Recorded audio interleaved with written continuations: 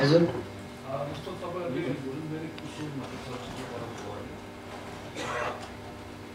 यसको टाइटल चाहिँ मेरी कुसुम किन राख्नु जस्तो कुसुम कति राम्रो नाम मेरी भन्नु कुसुम पनि अलरेडी दर्ता भइसकेको छ त्यही भएर कुसुम मात्र नभएर।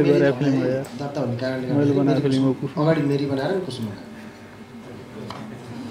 कस्तो फिल्म मै मै सोधिदिन थालेँ यो love story plus action shortcut उत्तर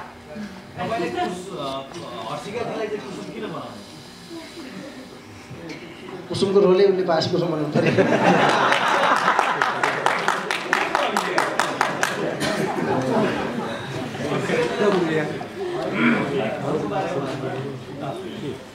हजुर मेरी कुसुमको बारेमा मैले भन्नुपर्दाखेरि एकदम मलाई एकदमै मन परेको टाइटल। सायद यहाँ सबैले मन पराउनु नै भएको छ होला। र स्पेसली अब मैले चाहिँ एउटा डिफ्रेन्ट रोल गर्न पाएँ किनभने यो मुभी हामीले सबै म्याग्दी जिल्लामा सुटिङ गरेर एकदम अनकन्टा ठाउँमा मैले जीवनमा नसोचेको ठाउँमा पुगेर एउटा गाउँको क्यारेक्टर मेरो लागि अहिलेसम्म मैले गरिरहेको मुभीहरूमा यो एकदमै डिफ्रेन्ट थियो।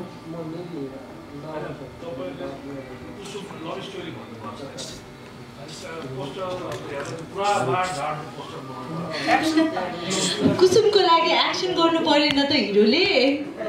कुसुमको लागि लडाइँ गर्नु परेन त। त्यही भएर एक्सन पक्षहरू पनि एकदमै राम्रो छ। त्यो कुसुमको लागि हुने एक्सन नै हो। कस्तो नायक हुनुहुँदो रहेछ?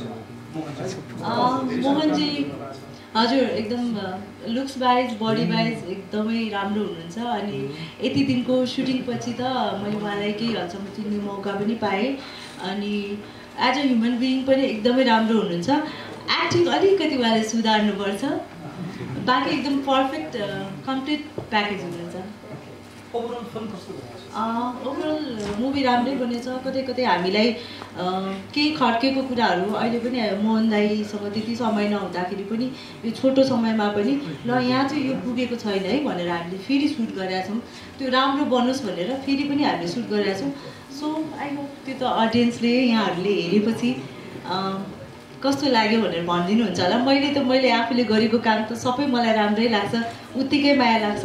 मैले गरेको अहिलेसम्ममा गरेको सबै प्रत्येक मुभीलाई मैले त्यति नै माया गर्छु। मेरो लागि त अब एउटा आमाले छोराछोरी कसरी छुट्याउने भने जस्तै क्वेसन भयो कि? मेरो लागि त एकदमै राम्रो हजुर। छ।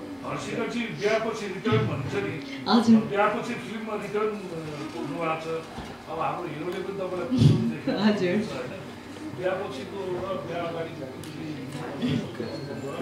हाम्रो निर्देशक पनि हाँसेर बस्नु भएको छ। उहाँले चाहिँ केही भएको छैन फिल्मको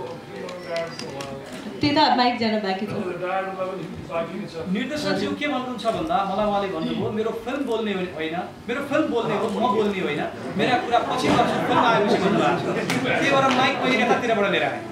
नायिकाजीलाई भन्नुहोस् न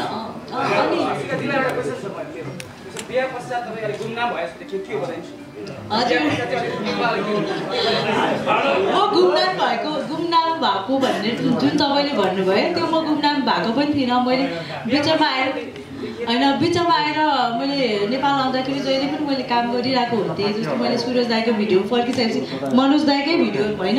यताबाट पनि मैले काम गरेको छु होइन? गुमनाम भएको भन्ने चाहिँ होइन त्यही हो।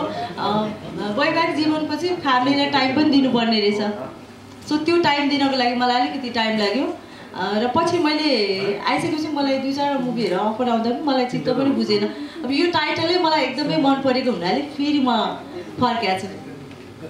अब मोहनजीलाई केही भन्नु छ? केही कुरा?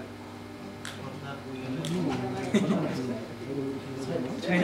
ओके अब उहाँहरू आफै सन्तुष्ट हुनुहुन्छ भन्नुपर्ने कुरो अरू केही छैन भनेपछि अब म धन्यवाद दिन चाहन्छु। सम्पूर्ण अतिथिज्यूहरूलाई